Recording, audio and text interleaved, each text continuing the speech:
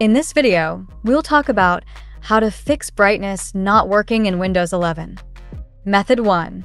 Restart service. Click in Search. Type Services.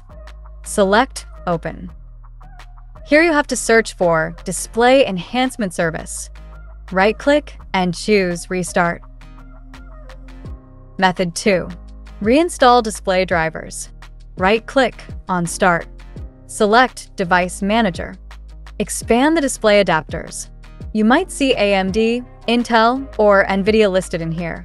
If you don't have a dedicated graphics card, you'll likely find Intel or AMD drivers here. Right-click on your GPU driver and select Uninstall Device. And again, click on Uninstall.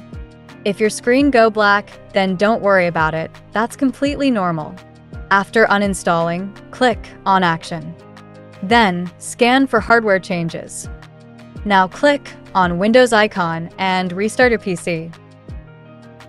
So that's how you can fix brightness not working in Windows 11. See you in the next video.